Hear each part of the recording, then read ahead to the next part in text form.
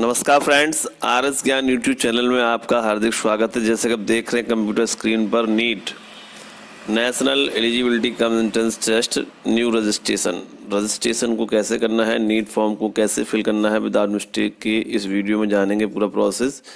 यहाँ देखिए इंस्ट्रक्शन दिए गए हैं, इन्हें रीड और राइट कर सकते हैं और करते हुए जो है पेज की बॉटम साइड में पहुँचते हैं। यहाँ पर डिक्लेरेशन को एक्सेप्ट करना होता है और यहाँ क्लिक हियर टू प्रोसीड पर आपको क्लिक कर देना होता है। इस प्रकार से रजिस्ट्रेशन पेज खुल गया। यहाँ पर आपको अभ्यर्थी का नाम, ये जो नाम आपको डालना है, अपनी हाई स्कूल मार्कशीट के अकॉर्डिंग डालना है और हाई स्कूल की मार्कशीट और आधार कार्ड की डिटेल को सेम करा लेना चाहिए जिससे कि एग्ज़ाम में आपको प्रॉब्लम्स ना हो। तो सिंपली यहाँ हमने जो है हाई स्कूल की मार्कशीट से नाम टाइप करेंगे और उसके बाद जो है पिता फादर्स नेम का नाम यहाँ डालेंगे। उसका मदर्स नेम हाई स्कूल की मार्कशीट के अकॉर्डिंग जन्म तिथि आपकी जो भी है, यहाँ से आप फिल करेंगे इसकी सहायता से। इस प्रकार से आप जो है अपनी डेट ऑफ़ बर्थ डालेंगे यहाँ पर। लिंक का चयन करेंगे, मेल, फीमेल है। नेशनलिटी को यहाँ पर सिलेक्ट कर लेते हैं। उसके बाद पहचान का प्रकार। पहचान का प्रकार आपके पास क्या है? क्लास ट्वेल्थ एडमिट कार्ड है या फिर इलेक्शन कार्ड है, voter ID card, passport, ration card, bank passport. Any other जो valid government identity with photograph है, यहाँ पर आप अपना आधार कार्ड लगा सकते हैं। उसके बाद अपना एड्रेस को यहाँ फिल कर लेना होता है। विलेज से बिलोंग कर रहे हैं तो विलेज अपना जो भी एड्रेस आपके आधार कार्ड में यहाँ पर टाइप करेंगे। उसके बाद लोकेलिटी डालेंगे, स्थानीयता लोकेलिटी डाल देंगे। कंट्री को यहाँ सेलेक्ट कर लेते हैं और स्टेट जिस भी स्टेट से आप बिलोंग कर रहे हैं, उस स्टेट को यहाँ पर जो है सेलेक्ट कर लेते हैं। डिस्ट्रिक्ट भी यहाँ पर सेलेक्ट कर लेंगे आप। पिन कोड डाल देंगे। आपका जो पोस्टल पिन कोड है, डाक खाने वाला, वो यहाँ पर डालेंगे। मोबाइल नंबर एक्टिव होना चाहिए। ईमेल आईडी भी एक्टिव होनी चाहिए। क्योंकि जो वेरिफिकेशन होगा, वो ईमेल और मोबाइल के माध्यम से कंफर्मेशन किया जाता है। तो ये दोनों एक्टिव होना और ऑन ज़रूर होना चाहिए, जिससे कोई आपको समस्या ना हो। एड्रेस यदि सेम है तो सेम पर टिक कर देंगे, नहीं तो आप अलग अलग फिल कर सकते हैं। जो यहाँ पासवर्ड है, जैसे आप क्लिक करते हो तो यहाँ पर your password must satisfy the following instruction दिए गए हैं। इन्हें रीड राइट करके अपना पासवर्ड को यहाँ पर डाल सकते हैं। सिक्योरिटी क्वेश्चन में आप कुछ भी सिलेक्ट कर सकते हैं। केवल सिक्योरिटी क्वेश्चन के लिए ही ये क्वेश्चन यूज़ किया जाता है। तो यहाँ पर जैसे what is your favourite book है तो यहाँ पर अपना मैथ है इंग्लिश है, जो भी आपका फेवरेट बुक है, डाल सकते हैं अपना सिक्योरिटी आंसर के लिए। और यहाँ पर कैप्चर फिल करेंगे। फिल करने के बाद आपको सबमिट बटन पर क्लिक करना है और यहाँ पर आपके सामने प्रीव्यू ओपन हो जाता है। प्रीव्यू को अच्छे से चेक कर लेते हैं। यहाँ पर स्टेप बाय स्टेप चेक करेंगे और चेक करते हुए पेज के बॉटम साइज़ में जो है कुछ पैरामीटर्स दिए होते हैं जिन पर हमें नंबर बाय नंबर जो ट्रिक करना होता है और डिटेल्स को अच्छे से चेक कर लेना होता है।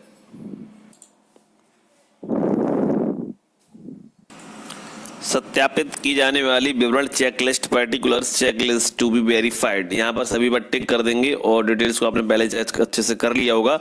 सबमिट एंड सेंड ओटीपी जैसे ही क्लिक करेंगे तो आपके मोबाइल पर एक ओटीपी आएगा, जिससे कि मोबाइल नंबर को वेरीफाई किया जाएगा। ओटीपी डालकर सबमिट करेंगे मोबाइल नंबर वेरीफाई हो जाता है। यहाँ आप देख सकते हैं मोबाइल नंबर पर ओटीपी आ चुका है और ओटीपी को हम यहाँ फिल करेंगे। उसके बाद सबमिट रजिस्ट्रेशन फॉर्म पर क्लिक करेंगे। सबमिट करते ही आपके सामने देख सकते इस प्रकार का ऑटोमेटिकली जो है डैशबोर्ड ओपन हो जाता है, जहाँ पर रजिस्ट्रेशन डिटेल्स कंप्लीटेड और application form fees payment incomplete incomplete लिखकर आ रहा है। अब आपको क्या करना है? कंप्लीट एप्लीकेशन फॉर्म पर क्लिक करना होगा। यहाँ आप देख सकते हैं एक और नया स्टेप आपके सामने ओपन हुआ, जहाँ पर आप देख सकते हैं, सारे स्टेप ओपन हो चुके हैं और लेफ़्ट साइड में देख सकते हैं कॉन्टेक्ट डिटेल पर्सनल डिटेल बहुत सारे ऑप्शन ओपन हुए हैं।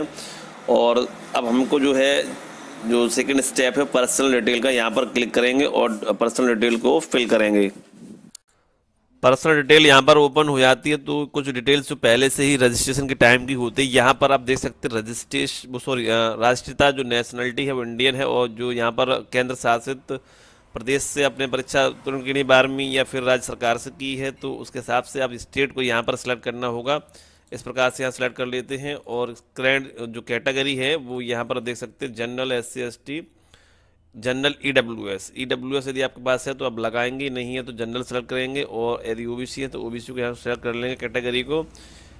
क्या आप विकलांग कैंडिडेट हैं तो यहाँ पर यस करेंगे या फिर नो करेंगे? अपने अकॉर्डिंग यस नो करेंगे? मधुमेह का शिकार है कि नहीं? डायबिटीज़ का तो यस नो करेंगे यहाँ पर निवास की जगह आप रूरल हैं या जो शहरी हैं तो उसके हिसाब से अर्बन और रूरल का चयन कर सकते हैं। जो फैमिली एनुअल इनकम है, अपने आय प्रमाण पत्र या अपने पिता की जो आय प्रमाण पत्र, उसके अकॉर्डिंग जो है आप यहाँ पर सिलेक्ट कर कर सकते हैं, जो सालाना आपकी इनकम है।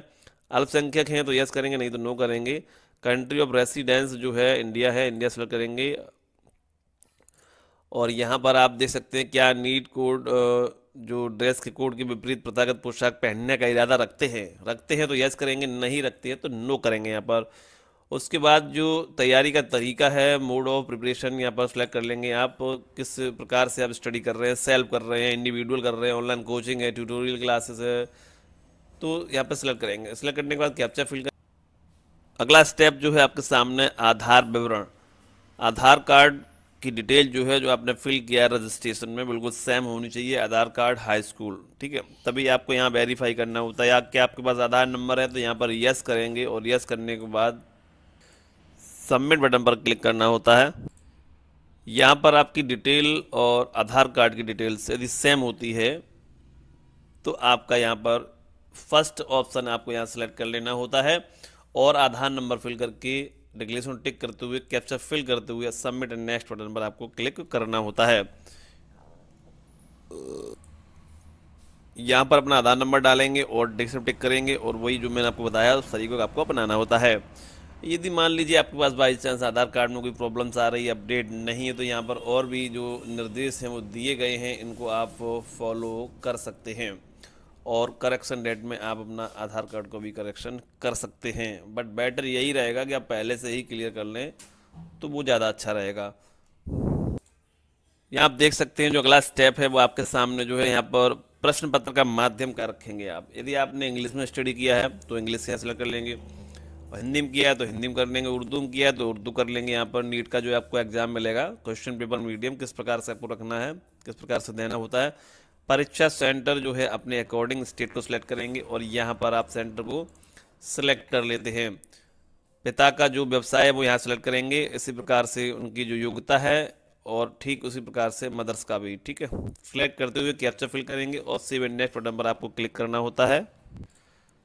यहाँ पर आपकी जो है एलिजिबिलिटी ओपन हो जाती है टेंथ, इलेवेंथ और ट्वेल्थ का। यहाँ पर देखिए पासिंग ईयर सेलेक्ट कर लेंगे। उसके बाद जो है यहाँ पर उत्तीर्ण होने का वर्ष ठीक है, इसके बाद योग्यता है, स्कूलिंग स्थान है, रूरल है, अर्बन है। इसी प्रकार आपको जो है, अपना ज़िला है, स्कूल बोर्ड है, सिलेक्ट कर लेना होता है। यहाँ पर मार्क्स फिल कर देने होते हैं, रोल नंबर, स्कूल, कॉलेज का नाम, पिन कोड, ठीक है। इसी प्रकार आपको अलेवेंथ का भरना होता है और इसी प्रकार आपको ट्वेल्थ का यहाँ पर फिल कर लेना होता है। यदि आप अपेयरिंग है तो कोड ऑटोमेटिकली अपेयरिंग का वहाँ शो हो जाएगा। यदि आप पास करेंगे तो यहाँ ऑटोमेटिकली कोड जो है यहाँ से स्टार्ट हो जाता है। तो यहाँ पर आप अपनी एलिजिबिलिटी देखते हुए दो या तीन नंबर का कोड सेलेक्ट कर लेंगे। कोई प्रॉब्लम इसमें आपको नहीं होने वाली है। सेलेक्ट करने के बाद जो है यहाँ पर अपना जो मार्क्स हैं सब्जेक्ट फिल कर देंगे। उसके बाद जो है कैप्चर फिल करके हिस्ट्री में नेक्स्ट पर आपको क्लिक करना होता है। यहाँ पर अपना जो है क्या आप जुड़वा हैं तो इस प्रकार ऑप्शन आप यस और नो का सेलेक्ट कर सकते हैं। इसी प्रकार जो है कि आप पहले कभी शामिल हुए तो यहाँ पर इस नो का रिस्पॉन्स दे सकते हैं।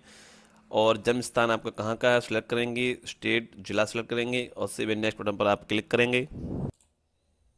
यहाँ पर इमरजेंसी कॉन्टेक्ट डिटेल्स को फिल कर लेते हैं।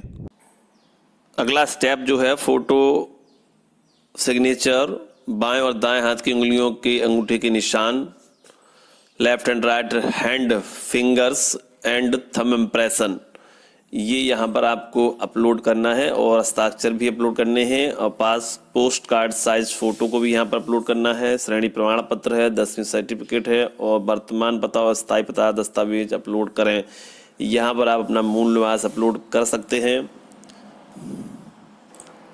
फाइनली प्रीव्यू पेज आ चुका है। प्रीव्यू पेज को कम से कम दो बार अच्छे से ऊपर नीचे करके चेक कर लेंगे। चेक करने के बाद यहाँ पर टिक करेंगे। टिक करने के बाद जो डिक्लेशन को टिक करेंगे, उसके बाद फाइनल सबमिट एप्लीकेशन पर आपको क्लिक करना होता है।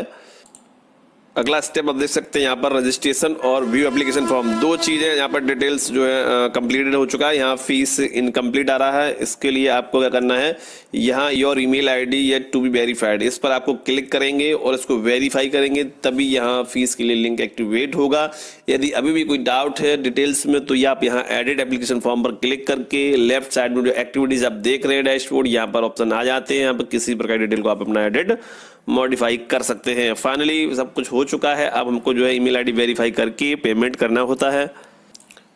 यहाँ पर आप अपना चेंज ईमेल आईडी को भी चेंज कर सकते हैं। देखिए, यहाँ पर जैसे मान लीजिए ईमेल वेरी ओ टी वेरीफाई नहीं हो रहा है और रजिस्ट्रेशन का मैसेज भी नहीं आया था आपके पास और आपका ईमेल आईडी गलत है तो आप यहाँ से चेंज कर सकते हैं। कुछ देर बाद आपका ओ आ जाएगा और वहाँ से वेरीफाई भी आप कर सकते हैं यहाँ से फिर, ठीक है?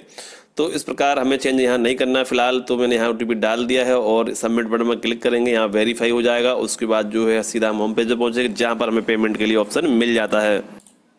ओटीपी आने के बाद ओ टी चूँकि मैंने अभी जो बताया था, वो स्टेप थोड़ा गड़बड़ था और अब जो है सही है बिल्कुल। ओटीपी रियल मैंने डाल दिया यहाँ पर और उसके बाद हम वेरीफाई करेंगे यहाँ पर। यहाँ देख सकते हैं सक्सेसफुली हो चुका है। होम पेज पर पहुँचेंगे। अब आप देख सकते हैं यहाँ पर पे एग्जामिनेशन फ़ीस रेट से सोलह सौ रुपए का यहाँ ऑप्शन आ चुका है। पेमेंट का यहाँ क्लिक करेंगे और पेमेंट को कंप्लीट करेंगे।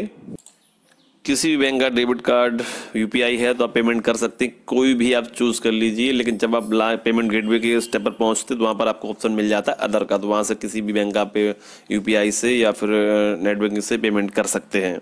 सिंपली मान लीजिए हमने जैसे मान लीजिए एसबीआई का ले लिया है पर टिक कर दिया, ठीक है? यहाँ पर आप देख सकते हैं जो यूपीआई का ऑप्शन नहीं है बट आप अदर नेट बैंकिंग यूज़ कर सकते हैं other bank debit card use कर सकते हैं यहाँ पर, ठीक है? अब हमने जो है एच डी एफ़ सी का चूज़ किया क्योंकि एस बी आई में ऑप्शन नहीं आ रहा था तो वहीं पर ऑप्शन मिल जाता है, हम दोबारा से लॉगिन करेंगे तो एच डी एफ़ सी को टिक करेंगे वहाँ पर पेमेंट वाले ऑप्शन पर, और यहाँ पर आप देख सकते हैं यूपीआई का ऑप्शन भी है, और अदर बैंक डेबिट कार्ड भी यहाँ से पेमेंट बड़ी आसानी के साथ कर सकते हैं। नमस्कार, जय हिंद।